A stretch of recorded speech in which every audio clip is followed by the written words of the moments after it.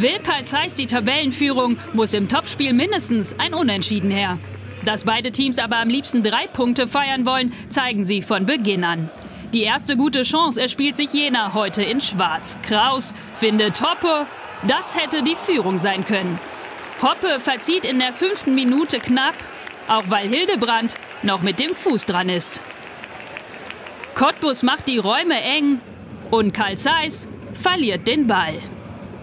Badu hat eine Menge Platz, bedient Wehling und auch der hat Zeit.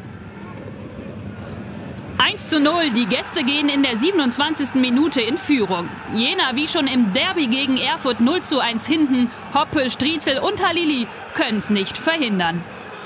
Jena bis dato mit mehr Ballbesitz wirkt durch den Rückstand verunsichert. Und so kommt Cottbus zur nächsten Chance. Kujovic findet Hottmann, Kunz verhindert das 0 zu 2.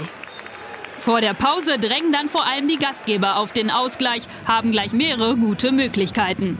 Die beste hat Lemmel nach der Hereingabe von Kraus.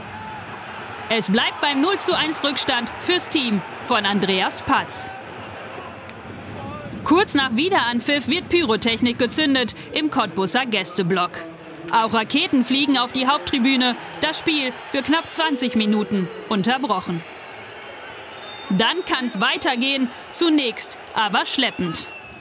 Vor allem Jena spart mit zwingenden Aktionen, profitiert dann von diesem Foul von Eisenhut an Verkamp.